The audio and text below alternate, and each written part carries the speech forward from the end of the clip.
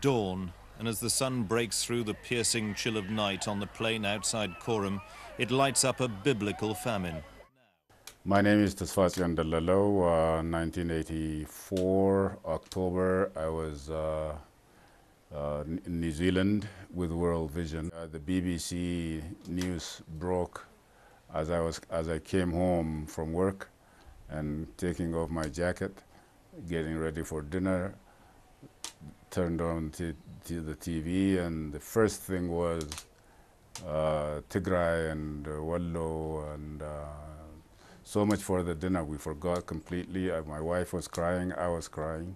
The next day I went to work and there was a telex from World Vision asking me uh, to come back to Ethiopia. The most difficult thing that I can never forget in my life is that to go into the camp and choose from make, make a choice of those young children, lactating mothers, and elderly people who should go into the uh, feeding ration, uh, the feeding camp.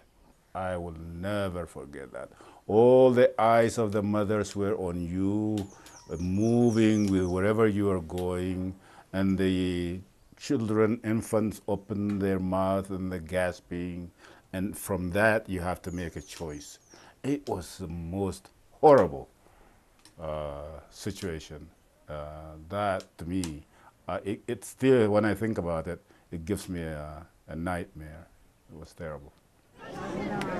Um, I'm hopeful that we will not, will never see that kind of famine in Ethiopia again.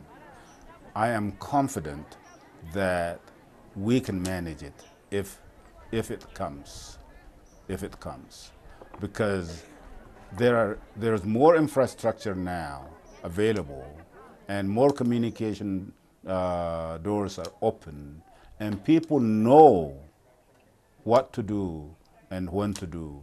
And so therefore, I'm very hopeful and very, very, very confident.